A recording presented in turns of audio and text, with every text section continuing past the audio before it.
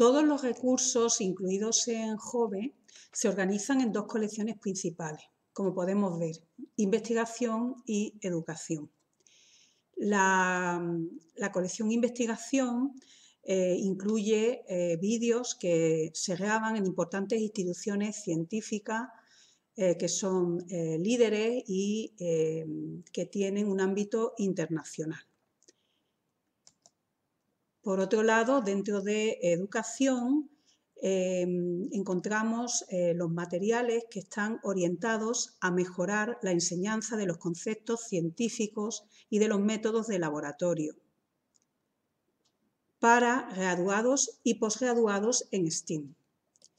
Eh, es un acrónimo eh, que se corresponde a, la ciencia, tecnología, ingeniería y matemática. Se trata de un enfoque educativo que incorpora eh, todas estas áreas y a las que se añade también em, dentro de sus programas se puede se añade toda la parte de las artes visuales o escénicas, cualquier tipo de arte se incorporarían a ese enfoque educativo.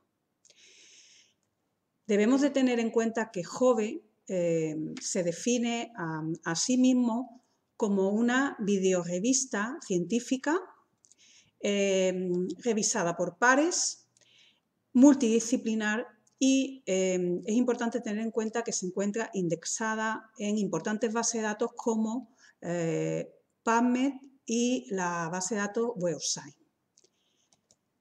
Para ver esta diferencia entre estas dos grandes em, estructuras, vamos a ver un vídeo, por ejemplo, de biología. Vamos a pinchamos en el título y vemos un poco la estructura eh, que presenta este vídeo dentro de la plataforma Jove. Y si vemos, eh, por ejemplo, un vídeo de biología, vemos eh, que, por ejemplo, vamos a entrar en Jovecore, biología, y podemos ver que son, eh, pues, eh, por su propio diseño, pues están más orientados hacia lo que son estudiantes, ¿vale? Más eh, didácticos y, bueno. En este tutorial también queremos mostraros cómo podéis navegar y, cómo podéis eh, utilizar lo que sería un, registro dentro de esta base de datos, dentro de lo que es Jove como plataforma. Como hemos dicho, realmente Jove es una videorevista. Recordar también que mm, todas las eh, subcolecciones de Jove tienen eh, su propio ISSN como revistas que son. Em, pero es importante que conozcáis cómo moveros por, este eh, registro. Entonces, eh, lo primero que nos encontramos es, aparte de que nos indica en qué colección está incluido ese vídeo, eh, vemos aquí ya directamente el vídeo que podemos dar a reproducir.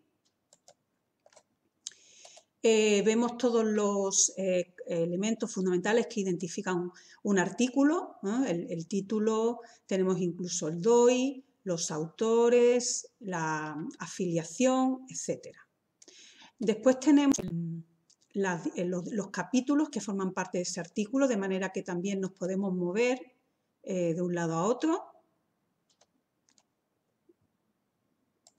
¿Vale?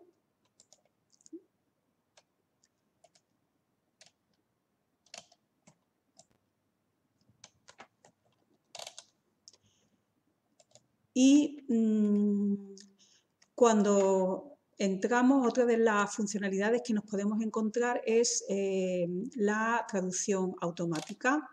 Eh, la mayoría de los vídeos están en inglés, aunque también existen vídeos eh, directamente grabados en español.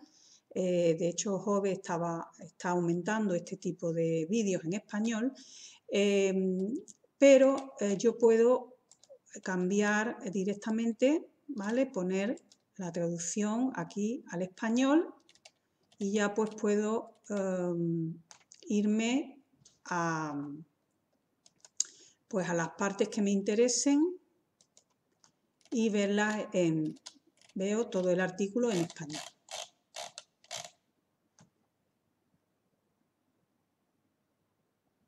¿Vale? Eh, vale, puedo darle clic aquí para volver a la versión en inglés.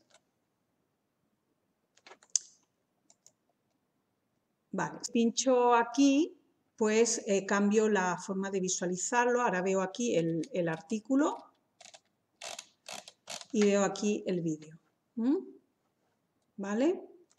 Aquí arriba tengo un menú por el que me puedo mover por las distintas partes del artículo. Si os fijáis, cuando antes lo estábamos viendo desde el vídeo, ¿vale? Realmente cuando yo hacía clic, por ejemplo en esta zona, lo que hace es ir a esa zona del, vídeo, realmente.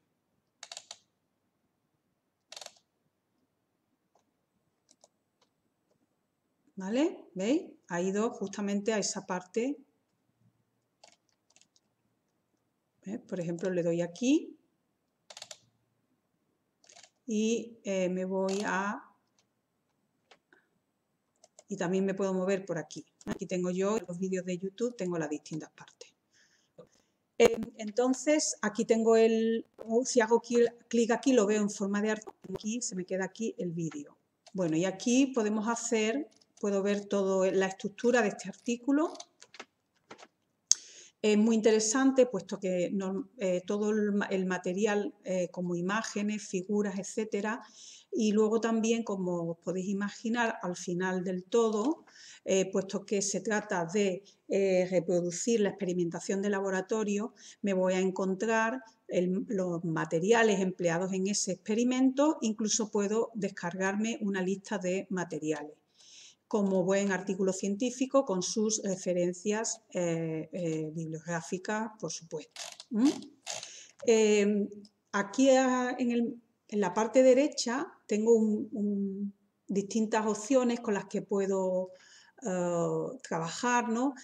tengo, por ejemplo, el poder compartir por distintas redes sociales. aquí tengo la posibilidad de copiar enlace y eh, puedo también marcarlo como favorito. Em, cuando lo marco como, favorito se iría a mi espacio de mm, MyHobe, eh, que esto lo veremos en otro tutorial. También puedo eh, verlo en PDF y aquí tenemos una utilidad que, también, que es también muy interesante. Tenemos primero lo que es la herramienta copiar cita, la típica herramienta de comillas en el que yo copio em, y luego lo puedo lo copio en el portapapeles y lo puedo pegar en cualquier documento. Y mm, aquí tengo también la opción de descargar la cita, ¿vale? Que si hago clic aquí, fijaros que me lo va a descargar en un fichero RIS, que como sabéis es el estándar eh, para trabajar con los gestores de referencia. Eh, de forma que yo me lo voy a poder llevar a, Mendeley, a Zotero o, al gestor con el que yo trabaje. Para finalizar aquí tenemos la información sobre los, eh, bueno, eh, los permisos para, bueno, para citarlo, reutilizar sobre todo el texto y las figuras. Básicamente para pedir permiso de reutilización de esta información. Bueno, esto es todo y nos vemos en el siguiente tutorial que estará eh, dedicado a cómo recuperar los vídeos desde Jove.